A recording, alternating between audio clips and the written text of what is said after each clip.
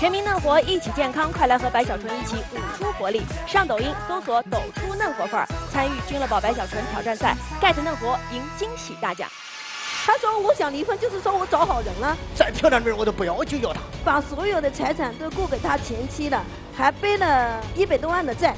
但是是他提出离婚的，骂我骗他什么骗他钱啊，骗他什么啊？把我霸占了，他心里不平衡。他玩失踪了，我找不到人了。我前妻和儿子，强行叫我回去，又容不下我，还要又给我撵出来。我跟他分开，我就无路可走。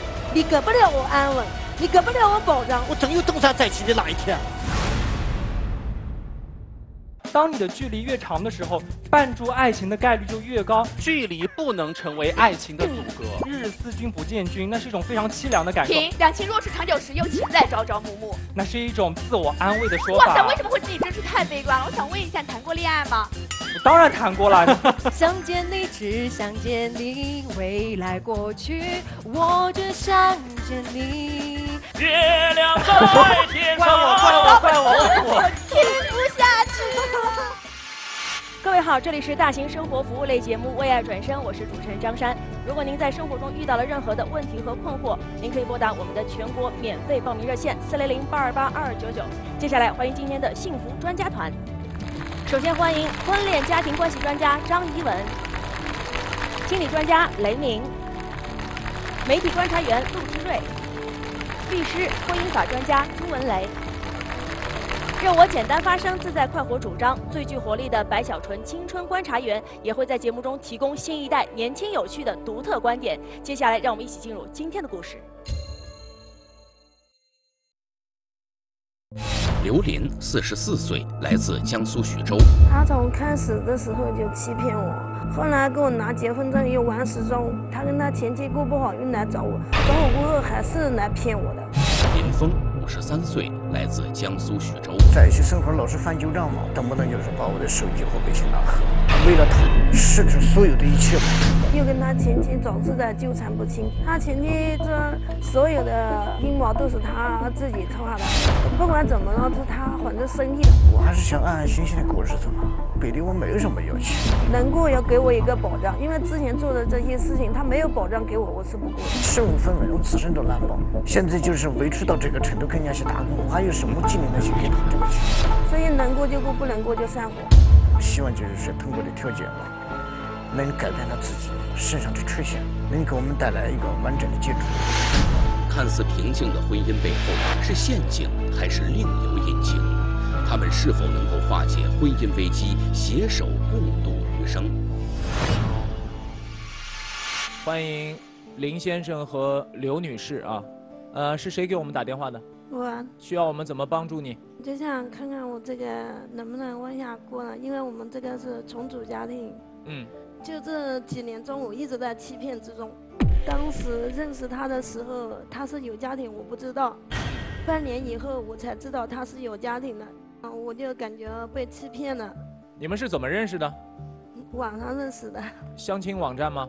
微信互进互进人加上的。多长时间确定关系了？开始认识他的时候，我就跟他说我是省一省日想找一个过日子。我说不是谈着玩的。他说他是一个人嘛，我也有责任嘛。我因为傻就没要他离婚证看吧。嗯我就总认为他一个人。从认识他一个多月，他一直都在我家住，嗯住了大半年了。我想有老婆怎么会不找呢？晚上呢？就是因为他的生活作息跟你一起在一起生活了大半年，对呀、我你就是没有。基于这个判断，他应该是单身。对呀、是吧要是有老婆怎么会不找呢？晚上老婆为什么不找呢？我来问一下林先生，当时什么情况？因为我跟我前妻这个感情也不是太好，啊，所以我就认识他，懂吗？嗯当时就是说认识他之前我们没有离婚，知道吧？嗯，后来以后认识他了以后，后来我们才离婚，知道吧？那你没想过说，在跟他住在一起生活大半年的开始的时候，跟他先把这个情况讲讲清楚吗？当时我也没有想到这么多，因为我跟我家前妻感情不和嘛，感情不和就是反正说离婚，当时也没有离，后来以后就是说跟他确定关系以后才离嘛，那大半年是你当时的妻子从来没找过你吗？没有，你跟你那个妻子在一起多久了？其实一般情况我在三十年，我们在一起也没有怎样，每天也不在一起一个又一个地方生活，知道吧？啊，就是两地分居对，啊，本来感情也不太好，所以他平常也不太管着你是吗？对，让你有了巨大的自由的时间和空间，以至于让你对面的这个女人认为你真的是一个人。是的，那刘女士什么时候发现情况不对了？开始我当知道他有有家庭的人，我就想离开了。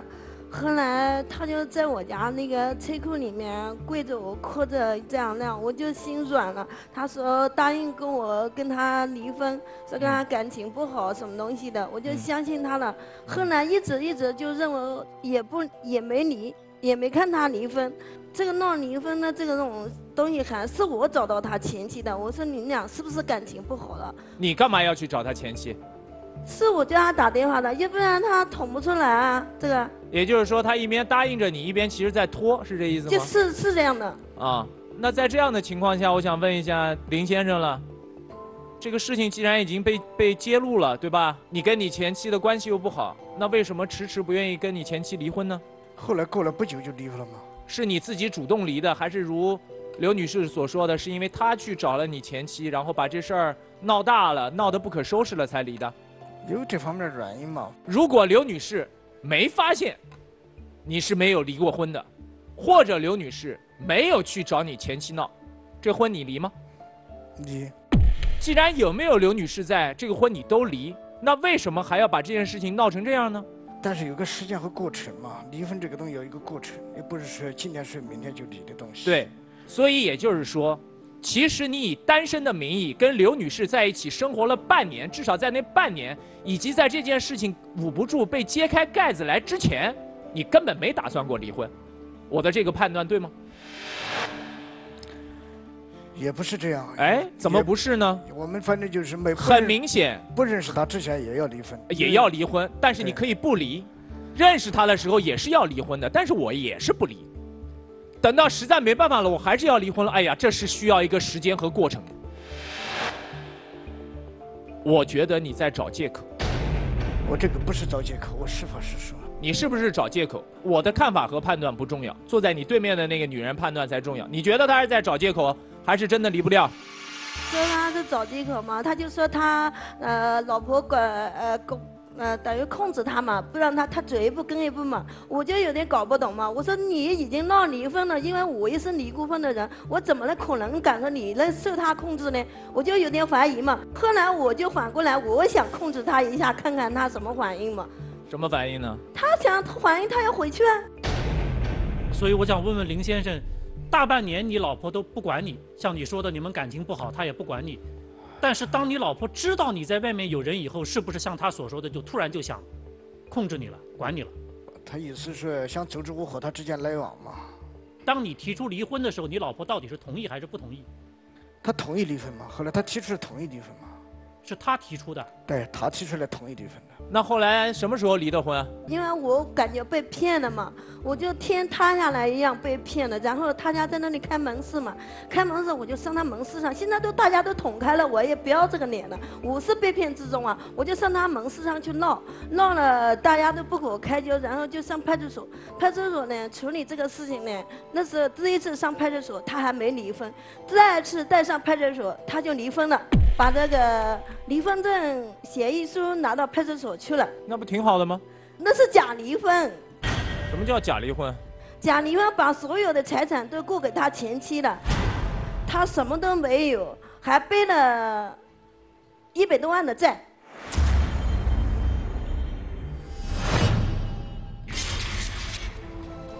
林峰的前妻提出离婚，并要求林峰净身出户。林峰出于对前妻的愧疚，随即把名下的五套房产全部过户给了前妻。考虑到前妻和儿子今后的生活，林峰和前妻在离婚协议中约定，十年内给付前妻八十万元作为补偿，而二人名下近三十万的贷款由林峰负责偿还。协议达成之后，林峰和前妻离婚。你算净身出户了，对，不但净身出户，还背了个八十多万的什么补偿款？八十万是说这样的，他是什么意思呢？如果我要有钱的话，以后就是说每个月给点钱给他。如哦，果要没有钱的话呢，也没有办法。那你的意思说这个钱你不用还，对吗？对，我那上面写的不是说欠补偿款，而是补偿多少钱。不是那我告诉你，少一个欠字。你的这个条子我看到了，从法律上来说，你没有一点理由不还这个钱。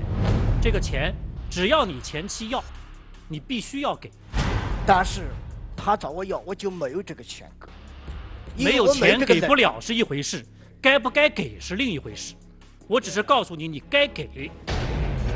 我就这种人，我没有那个能力来翻这个八十。那我要告诉对面的刘女士啊，朱律师讲的话你听懂了吗？嗯，听明白了吗？那必须要他还这个款。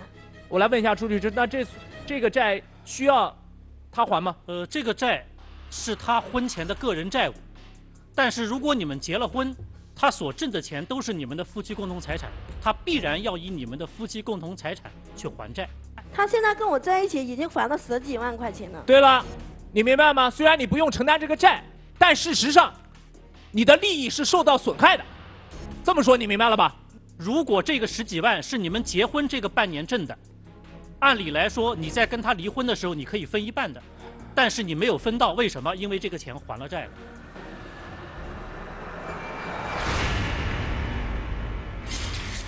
刘林以为林峰离婚后等待他的会是幸福的生活，然而他等来的却是间接背负的巨额债务，而林峰的前妻和儿子也逼迫刘林共同偿还八十万元的补偿款。面对这样的境况，林峰却不见了踪影。失踪了。失踪了，过一段时间才跟我联系，然后我就跟他谈这些事情嘛，谈这些事情，然后他就跟我回来拿了结婚证，我就跟他说了，以后谈离婚你就不要跟我拿着结婚证，我等于是害我。在这样一通折腾之下，你还是愿意跟他领证，那时候我脑子真是晕了，我现在想想，是什么理由和原因让你决定还要跟这个男人在一起？想想我以前的那种做法，我真的也是后悔。他领证的时候，他说不还这个钱，不还那个协议上写那个钱，嗯这是你对你们领证的唯一的顾虑，是吗对？他净身出户我无所谓，懂不懂？嗯，我明白明。白。但是，呃所以你从来没有怀疑过你们的感情，你也从来没有怀疑过他是不是爱你，以及你是不是爱他。你领这个证的唯一的前提只有一个前置的要求，就是反正这个债不还。他给了你这个承诺之后，你们就领了证了，是啊，是吧？是什么时候？哪一年？一八年十一月一号领证的。领证之前你知道他在外面欠八十万，对吧？知道，但是他就跟你说这个钱我不会还的，嗯，他们也不会要的，对。凭什么就相信他呢？那时候我就没意识到这么厉害的事情。我觉得这是一个常识，有人在外面欠了钱，那每个人只要说我不还了四个字，就行了吗？我真的没意思啊这么难。我们带着这个疑问继续往下问啊。二位领了证了，得偿所愿，两个人在一起了。那接下来又发生了什么呀？他跟他前妻是是纠缠不清，跟他儿子都纠缠不清。等到之后，我把他手机里面设置录音嘛，他前妻叫他找我麻烦，我前妻就觉得好像就是说，就是觉得我叫那个李叫那个李律师把我霸占了，他心里不平衡，懂不懂啊？她突然之间，他想意思想叫我和他之间不能在一起生活。他承诺他前妻嘛，说叫他在家等着他嘛，说他儿子给他半年时间嘛，跟我闹分闹分开嘛，半年，把我跟我之间的事情处理干净嘛。半年时间对，啊啊。这个都是我从录音里听到的嘛。有有这样的对话吗？他说半年时间够了，他说的来。，有这样的对话吗？他说只是说，但是我没有这样做，懂吗？呃也就是说，确实这么说了。他说只归他说，他说他这边说，我这边听就是呗。他说什么，我不能都是听他的了，对不对啊？那你有没有跟你前妻或者给你儿子承诺说，给我半年时间，我把这女人搞定了，我就回去？我没有承诺是想到半年以后给他甩掉。我从来只要我跟他说，我自从跟他结过婚，我就没有想，我既然认定这个刘女士，我就没有想跟他分开过。那你那你给你的前妻和儿子有过什么承诺呢？我跟他没有什么承诺，懂吗？我跟他有什么承诺他？给他承诺的，我录音里面听到的。那我想问问你，林先生，你刚才说你前妻确实给你打过这样的电话，对吧打过？这个电话，对。你是怎么回复的电话里？我说你过你的生活，我过我的生活，对不对？你不要干涉我懂吗。既然你叫我净身出户，你给我弄成这样，我一无所有，又叫我背债，又是那样这样的，你过你的，我过我的，懂吗？还有一个，只这样我想问一下，你前面说是你前妻主动提出来的离婚，对呀、是他提出来的离婚。但是刚才你又说，他你前妻觉得你被他霸占了，所以心里又不平衡。对，他心里就是一直不平衡，那想叫也就是说，我之间你他分开。前妻其实也并不想真的跟你离婚。从他内心当中想不想那是他的事情，但是的确是他提出来要跟我离了，他心里不平衡，就是这个道理，他就想将我和他之间拆开，就是这个意思。所以我觉得，如果从这个角度来分析，刘女士说假离婚，我觉得也不是说完全捕风捉影啊，因为你前期后面的表现证明他其实并不想和你离婚，但是他是主动主动要求离婚的，主动只是一个表态。所以说嘛，你们离婚是一个事实，但是当时到底怎么想的呢？后来我到莲池人民法院去起诉这个事情，法院就是说判决是说你起诉这个不存在根据《中华人民共和国婚姻法》，你这个起诉诉状不成立，懂不懂？你起诉什么？起诉什么？啊，其实我不是要求我那个房产嘛，我要追回我的房产嘛，对不对？因为我那个房产当时说房子是给他的嘛，给你前妻，啊，对，给我前妻的嘛，给你前妻几套房？一共是五套房嘛。都给你前妻，然后你去法院起诉，然后法院说你这根本不成立，你离婚之前都已经给给出去了，你现在又想往回要。对，哦，那这次去法院更多的像是一个表明一个态度啊。不是表明态度，从我的内心当中，我也想要一套房子回来，因为我这个年龄嘛，也能给我一个创业的机会。再个来说呢，我现在也没有那个精力了，也没有这个经济能力了，懂吗？因为我没有那个房子，所以说我也不好再挣那个钱了，懂吗？那领了结婚证，十一月结的婚，据说没有几个月又离婚了，是吗？对，几月份离的婚？他记得清楚，我二月二上十一号，一九年二月二十一号离婚。这不是当时说领了证就不离婚吗？你也信誓旦旦的说，我跟他在一起就不想离婚的。你也说领了证就不离婚但是是他提出来离婚的，我没提出来离婚。啊？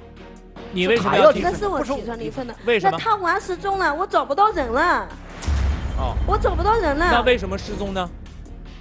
我不是失踪，我是反着工作，我什么叫失踪呢？那你为什么换工作？你的老婆不知道呢？让他知道了以后，到时候又吵仗，懂不懂啊？就是他前妻教他这样的嘛。那时候录录音里听到好好，之前就来冷是这样。静冷静，因为他失踪了，好不容易找到了，然后你们离了婚是吧？是你要离的，找到他跟他谈好了，谈好了条件，然后离了婚，谈的什么条件？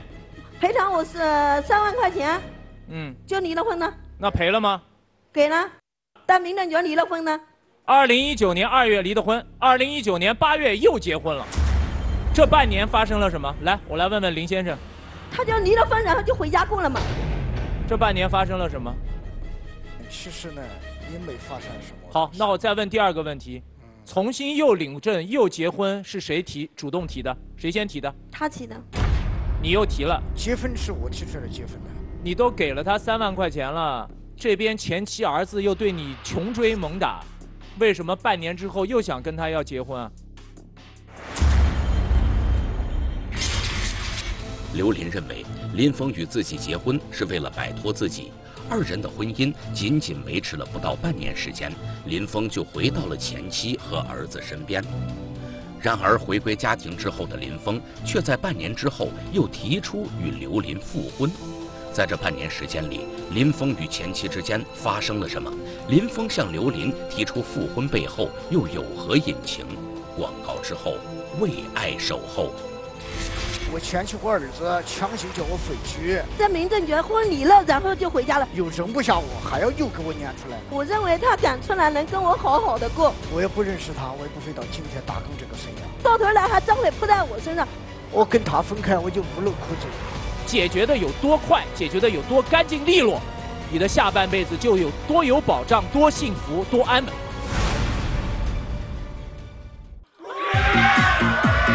拿喽拿喽，他们真的拿喽。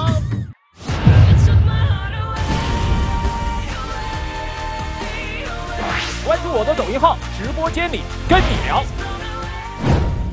打开抖音搜索“陆之瑞”，或者扫描屏幕上的二维码，关注鲁智瑞的抖音号，更多直播信息会在抖音上第一时间发布。陆子睿，俺家老公不爱我了，怎么办啊？现在罗志瑞，我日魂。陆志瑞吗？小卢果。罗志瑞，小卢啊，鲁智瑞，鲁智瑞啊。什么？上节目，今天我是我的聊天你们千万不要给我打电话，关注我的抖音号，直播间里跟你聊。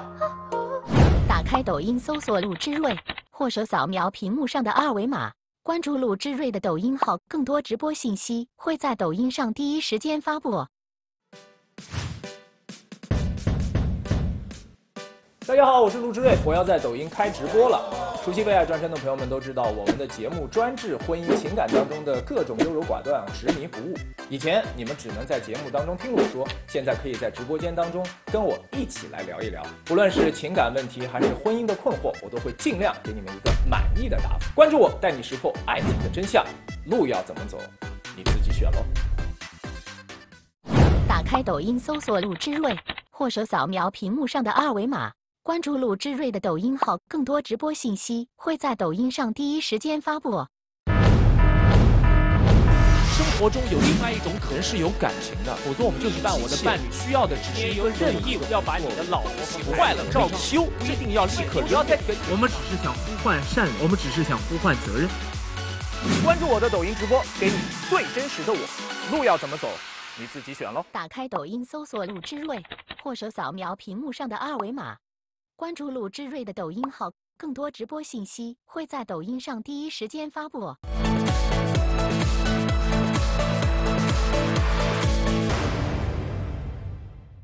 全民嫩活，一起健康，快来和白小纯一起舞出活力！上抖音搜索“抖出嫩活范儿”，参与君乐宝白小纯挑战赛，get 嫩活，赢惊喜大奖。你想有老婆怎么会不找呢？晚上呢？后来过了不久就离了嘛。那是假离婚，把所有的财产都过给他前妻了，还背了一百多万的债。他找我要，我就没有这个钱。他成了他前妻嘛，说叫他在家等着他嘛。他说什么，我不能都是听他的了。他玩失踪了，我找不到人了。但是是他其实离婚了，谈好了条件，然后离了婚。二零一九年二月离的婚，二零一九年八月又结婚了。他就离了婚，然后就回家过了嘛。为什么半年之后又想跟他要结婚啊？你跟他离婚以后，你去哪儿了？我跟他离婚了以后，我前妻和儿子强行叫我回去，强行叫你回去。对，然后呢？但是我回去的作为我来说呢，我还想跟他在一起，跟刘女士。那你回去了没有？我回去了。你回去了？哎，你心里又想跟他在一起，对。但是你前妻跟儿子要你回去，你又回去了。对。然后呢？回去以后呢？回去后来就前妻后来以后又容不下我，还要又给我撵出来了。又把你撵出来了。又把我赶。所以你又找回去找他了。他是撒谎，他跟我那天在民政局婚礼了，然后就回家了。那一万块钱还是他前妻给的。回谁家了？回他前妻家了。啊，回他前妻家了。嗯，那三万块钱，块钱三万块钱有他一万块钱是他前妻给的。然后就这样，你又跟他结婚了。我我总是顾着这正义面子，我懂了。要这一次离婚了，找了一个月离婚，再就离婚，再给人家看优哈。我总之就是这么想，我我脑子里面总是就是这个一念。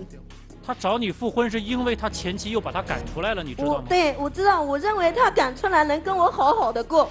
所以，二零一九年八月份又结婚了。八月六号结婚。一九年八月，这离现在没多长时间，那你就好好过吧。他前妻去年还上我们家找，把那个信息给我看了。他说把面包车和苦情的车子整个那个苦情的车子也有我一份的钱了吧？啊，然后就都开给他前妻去了。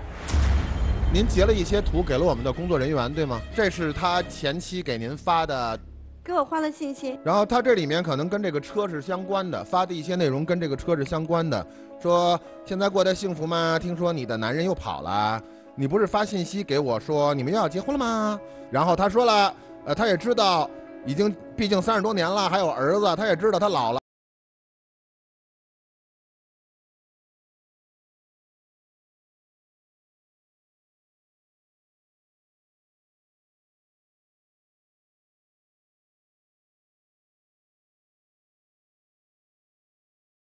这车吧，是的，啊，他都给我了，卖钱用了，你开心吗？我就认为他要是想跟我再次拿结婚证，想跟我过，你就把那个车子从码头就叫你朋友开，你应该跟我联系，对不对？我现在是你老婆，你为什么要去跟你前妻联系？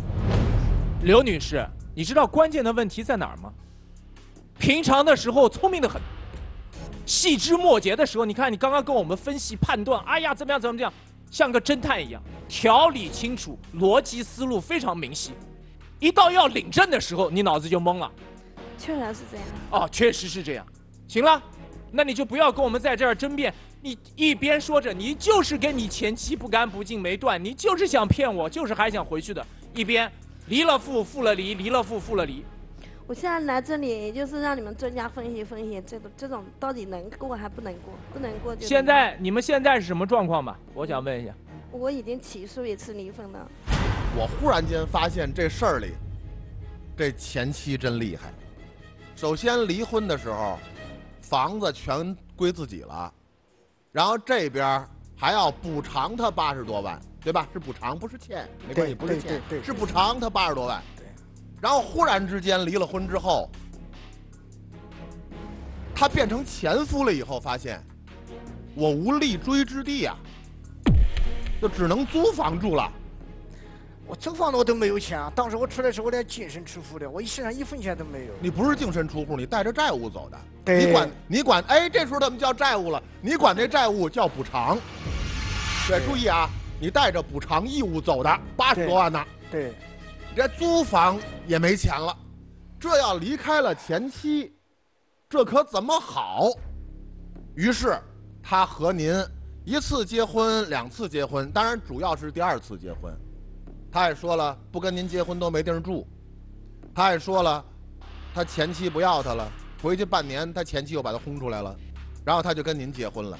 我知道他现在安分能跟我在一起过日子就行。我是啊，他要不在安分跟您过日子，您连租房的钱都没有。我也没有别的要求，我知道跟安分跟我在一起生活就可以。刘女士，你现在还在纠结是吧？对，他死了我就想离婚嘛。他说能跟我过好，因为呢，我你认为他能跟你过好吗？我也我也我也不懂。你告诉我不懂是什么？我已经起诉一次判决下来了，然后我就想问他，你现在想跟我过，你要给我什么保障？你要怎么去跟我过？这到头来还张嘴扑在我身上。我也不认识他，我也不会到今天打工这个生涯。那我想请问了，在你们认识的第一天，是谁欺骗了他，隐瞒了真实有婚姻的身份？我想问，我不是也离了婚吗？也跟他结过婚吗？也是事实存在嘛，也不是说我叫欺骗嘛，这么怎么叫欺骗呢？所以不叫欺骗。对呀，怎么叫欺骗两个字呢？现在你看，林先生有一整套非常缜密的逻辑。对啊。那你还留恋什么呢？他说我想离婚，就是说我找好人了，而且就上我家楼下在那里骂啊，骂来骂去的，骂骂我骗他啊，什么骗他钱啊，骗他什么啊？现在非常简单啊。第一，我希望你冷静。第二，我希望你做出一个正确的判断。我并不怀疑坐在你对面的这个男人对你是不是有感情。我相信你们之间可能风风雨雨这么多年，这几年来感情是有的，但是这个感情非常脆弱，这个感情非常摇摆不定，这个感情随时会因为前妻或者他儿子的介入而导向。不属于你的另外一边。对，我就担心这个，我现在就是想这个，所以我才离婚，所以我不能再拖了，就这样拖了三四年了，这样下去我不值得，我到头来还是一场空，我就是这么想的才去起诉离婚的。今天的这个错误，早在你们认识的第一个半年之后，你发现他其实还没有离婚的时候，这个种子就已经埋下了。早在那个时候，你就应该毅然决然的离开这个人。你在你的人生道路上，在对第二段感情和婚姻上，你的选择是一错再错。我就总认为他要是想跟我过，就不会这样去离婚的。您跟前妻的孩子今年三十岁了，对吗？对，三十岁了。您跟您前夫的女儿今年十二岁，跟他关系怎么样？开始好，后来就不好了。现在是什么状态？现在也不好。都是他在我家闹的嘛，闹得沸沸扬扬的嘛。也是他跑到楼下。哎，他他儿子也在威胁。我知道他跑到楼下嚷嚷，您家姑娘也能看得见。我我问一下，我特别不理解啊，原本啊，你有五套房啊，儿子三十了。对。原本您这状态，人生应该是一马平川啊，这个人生状态很圆满了，对吧？您没事儿拿那 app 在附近找啥人呢？其实生活当中不是像你所说那样，我自己比较痛苦，我自己的苦我只有我自己心里最清楚。现在的结果是，五套房没了，归前妻了是吧？然后您前妻那儿您还得补偿人八十多万。我问一下，您跟您那三十岁的儿子关系怎么样？也一摇头。就我不理解，何苦呢？所以说我现在就不能跟他分开，我跟他分开我就无路可走。通过专家的分析，林峰认识到自己的摇摆不定的态度，对于和前妻的关系的处理不当，才是刘林如今想离开他的根本原因。为了修复林峰与刘林之间的裂痕，专家针对林峰如何正确处理和前妻的关系提出了建议。从现在开始，不要再跟你的前妻发生任何的关系。如果真的要还钱，所有的沟通由你的老婆进行，可以吗？可以啊，我可以做的。这可以吗？他做不到，他跟我们都是在一个区的，他要在家做生意就做不了，他上门来闹，现在是这种情况。我跟他说只有一个方法，他上他的班，我做我一个人的生意，没有什么问题。刘女士四十多岁，找个老公，还要被前妻骚扰着，被你跟前妻的孩子打扰着。他也没有什么权利来干涉我和他之间的生活。他来找他来找我，我现在处理这件事和他也没有关系，他也不好找他，对不对啊？我就很简单，我们要让一个女人留在一个男人身边，这个男人总能给她点什么吧？专家也在问这个问题，我天天也在问你这个问题，你给不了我安稳，你给不了我保障，我也在天天在问你这个问题啊你。怎么知道给不了你保障？那你给了我什么保障？你怎跟我领证了，来你跟我领自爱去证了，你给我多少钱？你自己知道我，给不了你？自己算算，你自己不安心，你怎么知道我给不了你保障？那你自己算算。我真有你跟我东山再起领证了，你的那一天。给我多少钱？你算算我。希望他，我能够东山再起哪一天，准确会给他一个安全感。我这辈子，她是我唯一最喜欢的女人，我就要认定她。再漂亮的女人我都不要，我就要她。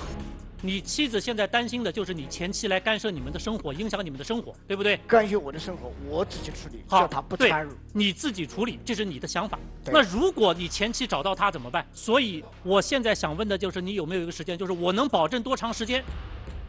从此以后，我前妻保证不来找你了，我来处理掉了。他只有来找我，我才能处理这件事情。他不来找我，我不好去找她。你要把这个道理要分清楚，懂吗？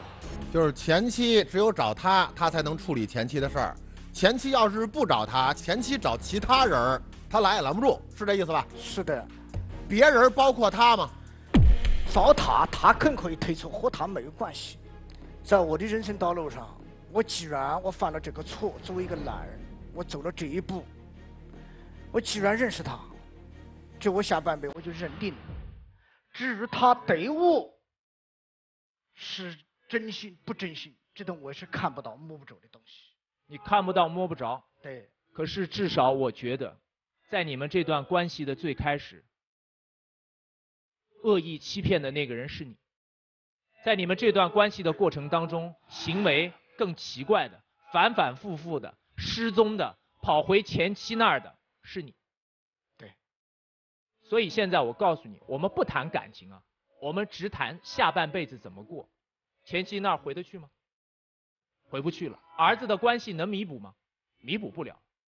剩下只有一条路，这条路就是对面的刘女士，对吗？对。所以，你有没有义务帮他把所有的困难、担忧和骚扰挡在门外？可以。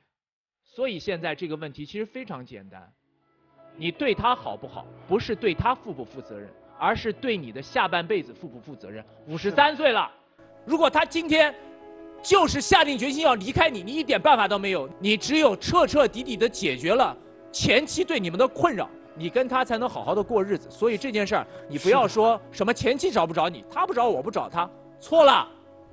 哦，那也就是说，刘女士以后就是永远守株待兔了。生活的所有的主动权，你们幸不幸福，全在于你前妻的心情了。这样的日子，他就算愿意跟你过，他能坚持几年？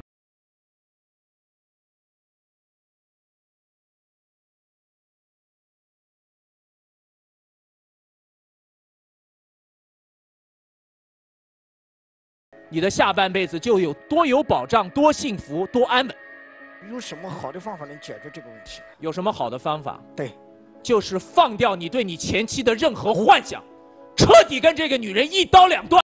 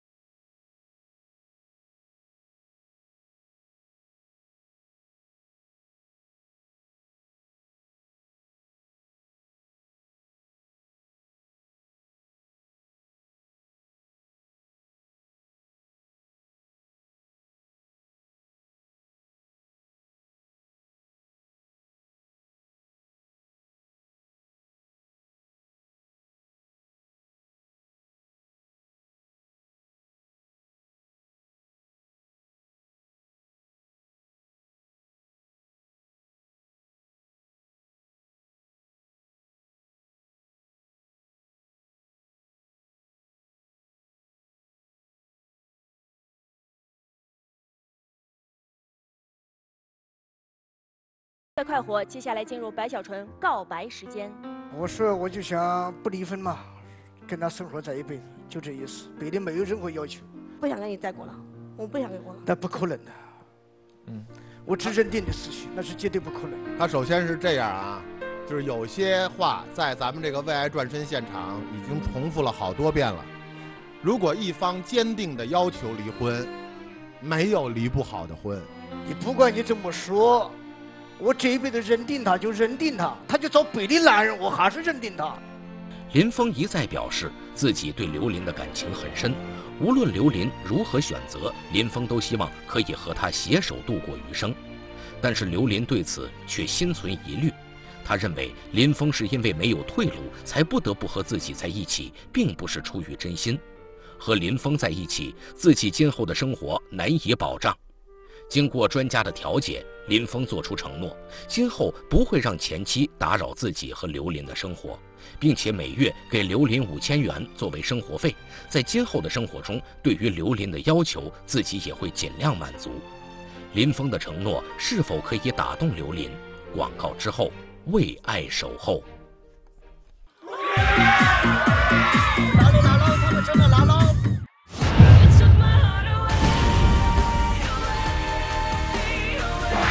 我的抖音号，直播间里跟你聊。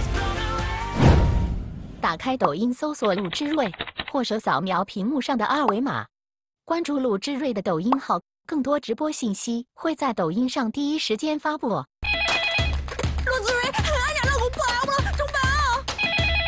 想做陆志瑞，我日婚。陆志瑞吗？小路过。陆志瑞，小卢哥吗？陆志瑞，陆志瑞啊！什么？上节目，我是我聊聊天你们千万不要给我打电话，关注我的抖音号，直播间里跟你聊。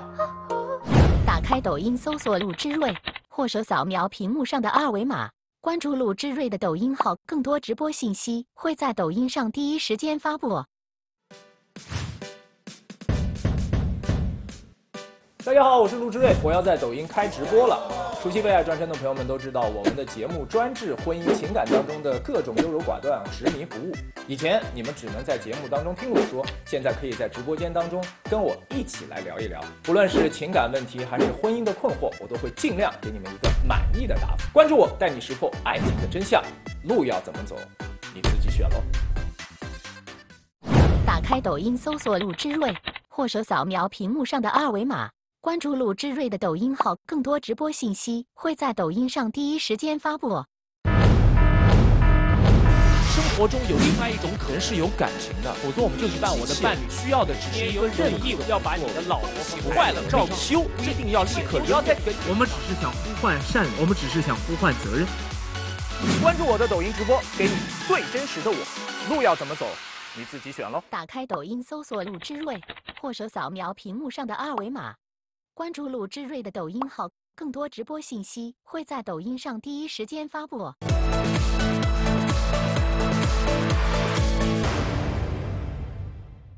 全民嫩活，一起健康，快来和白小纯一起舞出活力！上抖音搜索“抖出嫩活范儿”，参与君乐宝白小纯挑战赛，get 嫩活，赢惊喜大奖。接下来到了两位的选择时间，来，越简单越快活。接下来进入白小纯选择时间。这对半路夫妻分分合合好多次啊，今天在台上似乎积怨已深，能否调解成功？我们尊重当事人双方自己的选择。来，两位听好，如果想继续在一起生活，倒计时五秒之后，请按钮转身；如果想离婚，请离开这个舞台。五、四、三、二、一，请选择。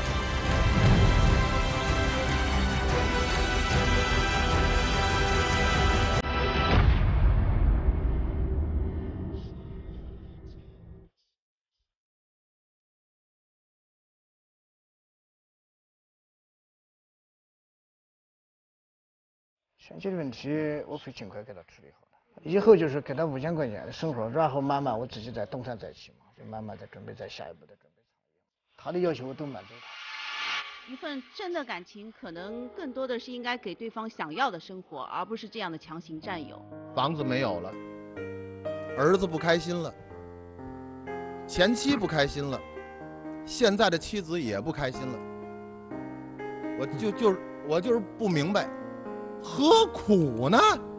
呃，我觉得这是一个自作聪明但是反被聪明误的男人，看起来留了很多的后路，但是实际上呢，前妻拒绝再接受他，还时不时的向他逼债。现在的妻子，当得知要和他一起背负债务的时候，也选择了不想跟他继续生活。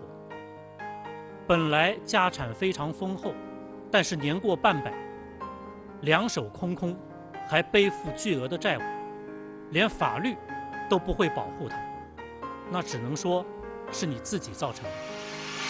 当你再也感受不到爱的快乐，可能是因为你们的爱已不再单纯。愿每个人都能找回那颗单纯的心，越简单越快活。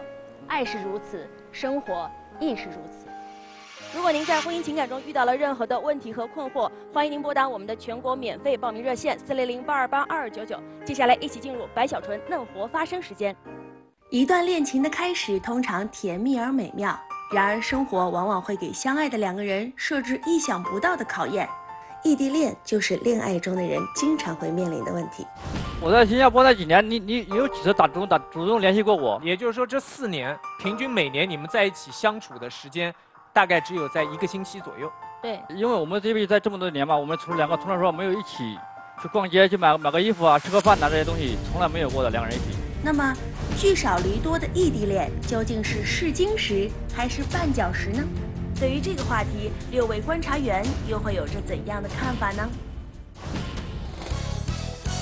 好了，今天的话题啊，一定是大家会讨论的热火朝天，关于异地恋。异地恋究竟是试金石还是绊脚石呢？嗯，认为是试金石的请举手。好，这边三位。好，这边三位看来是支持异地恋的，那这边三位肯定就是反方了。来，接下来进入今天的白小纯嫩活发声时间。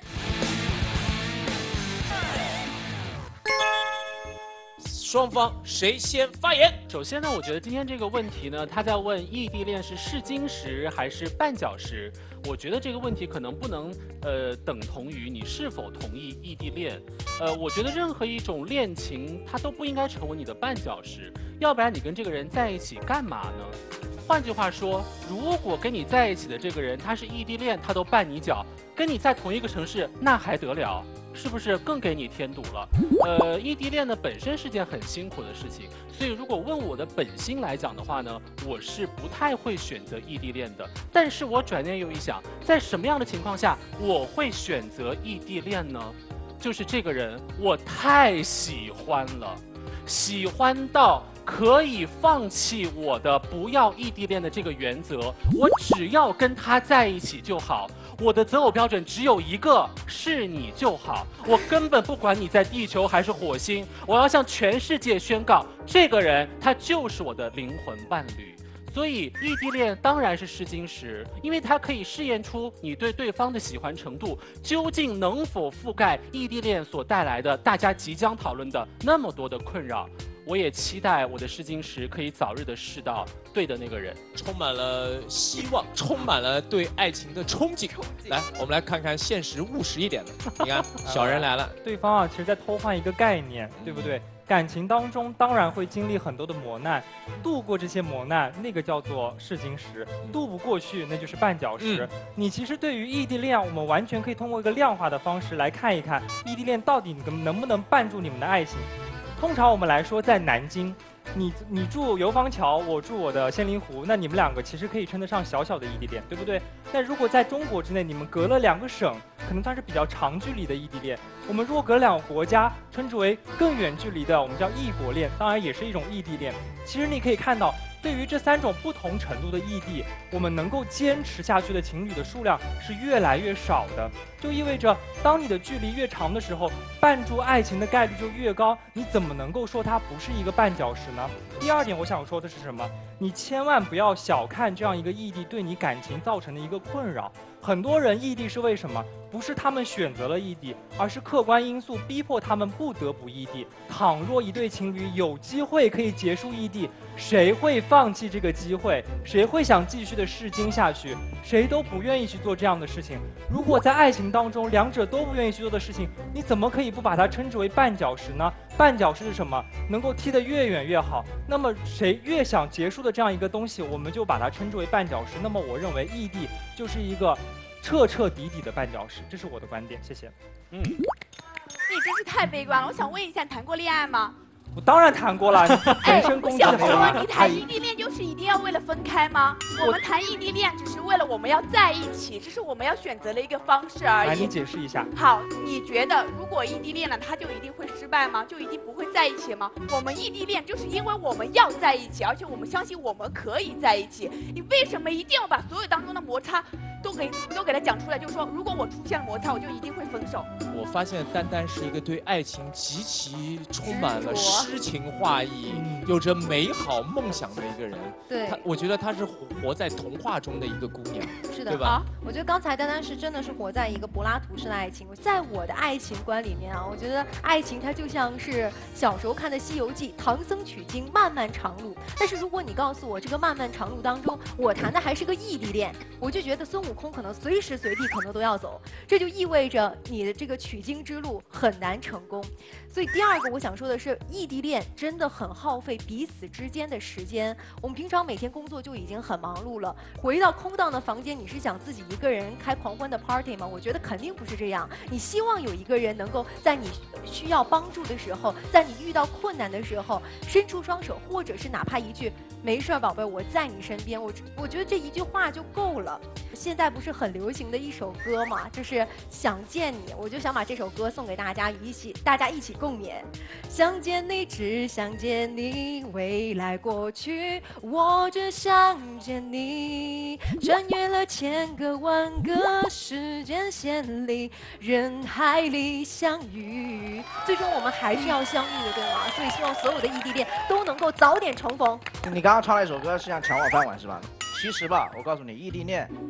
有你体会不到的，我唱首歌，你就能明白了。望着月亮的时候，我常常想起你；望着你的时候，就想起月亮。世界上最美、最美的是月亮，比月亮更美。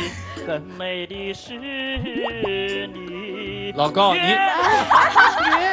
老高，你这歌一唱，把我们这节目本来是越年轻越快活，越简单活，快把我们唱成这个夕阳红节目了，像青歌赛一样。对，青歌青青歌赛，青歌赛。我我我我要发表一下自己的观点的。啊啊啊！你哦，你刚刚这首歌不是发表观点，不是发表观点啊。好的好的，啊啊！异地恋呢，其实是可以试出好的，也可以试出不好的。生活当中，其实摩擦才是爱情的绊脚石。就我前几任女朋友是在北京谈的，也是北京本地的啊，然后反而分手了。就我最近的一个女朋友是四川的，有半年时间嘛，就是异地的。她后来就从四川找，过来找我了，我们两个就在一起了嘛。已经快到了谈每天晚上给她唱歌，望着月亮，你要唱我唱的那个，我一般不唱在前奏，我一般要往后面唱。月亮在天上，怪我怪我怪我听不下去了，我讲的听不下去了。了。其实是这样子，在爱情中呀，有一个非常有意思的事情，往往是带有痛苦性的、带有戏剧性的，或者是带有没有办法完成的事情，会给人留下非常深刻的印象。往往是你追不到的人，会让你念念不忘；往往是你得不到的这段爱情，你会永远铭记在心。我们到底是要给自己的人生制造一个这样的戏剧性的一个话题，还是希望自己的人生能够平平淡淡的幸福下去？如果我们想把这段感情或者是这段爱情变成一个我永远这一生都可以铭记的一段爱情，OK，那你们去异地恋就好了，你们去撕心裂肺，然后有一天你们分开了，然后你去回忆这段故事，你会觉得哇，自己的人生原来在某一个节点遇到了这样一个人，你会特别特别有念想。那如果说你希望你的这一段爱情是平淡的，哪怕是这段爱情是可以走到最后的，那你一定是希望这个人留在你的身边，给你一种踏实的感觉、稳定的感觉。接下来马上进入今天的自由讨论时间。感情在萌芽期的时候，你看它怎么都是带滤镜的，怎么都是美的，但是感情它一定会经历一个过程是，哎，他怎么跟一开始的时候长得不一样了呢？怎么他一开始脾气不是这样的呢？这是谁发生了变化呢？或许是我自己发生了变化。但是在这个过程当中，如果我想，哎，他怎么好像变丑了？哎，但是他对我还是挺好的，那说明我在进一步的了解的过程当中，我是出了我自己对他的想法。所以，与其说你在试别人，我觉得试金石是在试自己。据我所知，丹丹现在正在异地恋，对吧？作为异地恋的爱好者，你怎么确定他的忠诚？对呀，那在一起也不能代表他就忠诚啊。啊，不对啊，对啊。可是不在一起，你更难，你更难这个更去容易出正视你现问题你更难去把握把控他的忠诚。我拿个最简单的例子来说吧，通过他的呃语气嗯来感受到他对我的一个态度。之前谈过一次比较失败的恋爱，我可以感受到一开始就是宝贝、甜心，对吧？亲爱的，天天叫你，然后跟你说晚安。到后面其实就慢慢变成了，哦，好的，嗯，我知道了，就这样子。就你可以通过对方的状态来判断他是不是心思还在你身上。对，其实女人的第六感，我个人认为还是挺准的。嗯，可是有的时候男人就是要盯啊，你如果不在他身边，他他出错的几率可能是不是比你就在身边，时时刻刻能看着他的几率要要低一些，风险肯定要低一些。那谈恋爱不是为了风险而谈啊，嗯，对吧？是为了感觉吗？小鹿哥，采访你一下，关于刚刚那个男人就是要盯你是怎么有感你同意吗你刚才就是亲身的经历啊，你给大家一个忠告啊。那对啊，就是要盯一盯啊。盯盯盯我们都在盯着。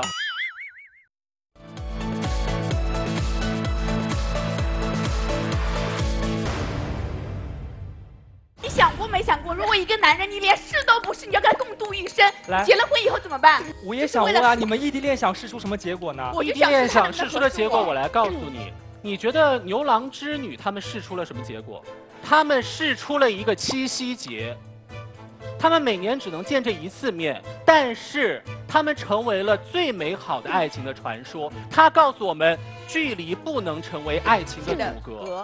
来，不是刘刘 牛郎，牛郎牛郎，我真的我牛郎太激动了牛郎。和织女绝对不是什么说绝美的爱情故事，是个凄美的爱情故事。日日日日思君不见君，那是一种非常凄凉的感受，停，感情若是长久时，又岂在朝朝暮暮？那是一种自我安慰的说法哇塞，为。什么会自我安慰呢？既然那句话可以流传这么久，哎，我想问一下六位，如果同样在可以在一起和异地恋当中，你们会选择什么呢？可以在一起啊，在一起。但异地恋一定是试金石，对因为他一定比我们两个人同样的两个人在一起，他经受的考验更多。这段感情当中，需要被测试的不仅仅只有忠诚度，两个人的脾气，对不对？生活习惯，两个家庭的一个生活习惯、三观等等，都是你们需要去试的。可是如果是异地的话，我觉得很多生活中的细节，或者说最后摧毁婚姻的那些细节，你们是试不出来的。相反，我觉得这样一种分离反而是会让你们这些雷最终埋到了婚姻的时候再去爆发，我觉得这是绊脚石的最大的一个原因。来，这样针对你刚刚说的这个问题呢，我想请两位前辈来给我们做个解答。可以，是不是经过了恋爱当中的磨合，那么这些琐事在你们的婚姻生活当中它就不会出现？不同的阶段、不同的年纪以及你不同的诉求的时候，每个人的要求是不一样的，所以你们会产生的矛盾是不一样的。一份感情，甚至是一对夫妻、一对恋人，他究竟适不适合？我可以告诉大家，没有任何一对是天生在一起就适合的。感情就是学着彼此互相的包容、迁就、改变，甚至经营。对，如果要是异地恋的话，都需要恋爱的双方有很高的智慧，可能付出更大的努力和牺牲，可能才会不管是试金石还是绊脚石，才能把这份感情谈下来。以我，呃。这几年的恋爱经验来说的话，包括我身边人的恋爱经验来说，如果一个人坚定的认为异地恋是绊脚石，最终他分手的时候，人家问你什么原因分手的，你说异地嘛，一定由于你们两个真的不够相爱，你们会拿异地恋当做一个借口。但是你也不得不说，他的确是一个试金石啊，最终也没能在一起，但他也依然帮你排除掉了一个不那么好的选择。异地恋呢是真的很美，可是呢。是不是真的适合过日子？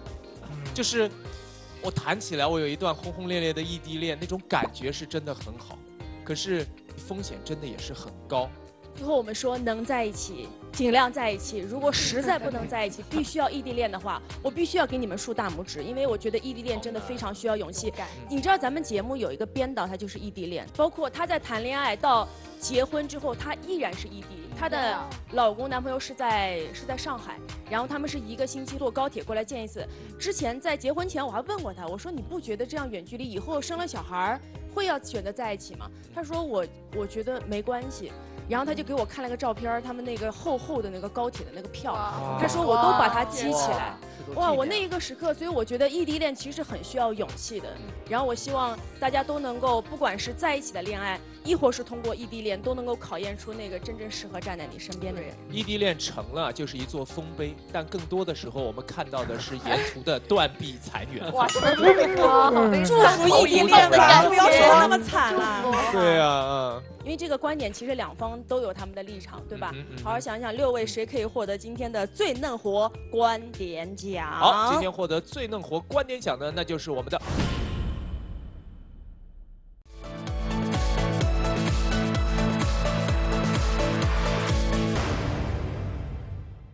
好，今天获得最嫩活观点奖的，那就是我们的超级小碗孙燕婉。来吧，燕婉！哎，恭喜恭喜恭喜！有一段要发给他的歌声是吗？哎，对对对对对。好，最嫩活观点奖送给你啊！嗯，我们也谢谢电视机前所有观众们的陪伴，希望爱看我们节目的观众都能够像君乐宝白小纯纯牛奶一样，越简单越快活。祝福大家，我们下期见，拜拜。但怪我，有爱，把一切全都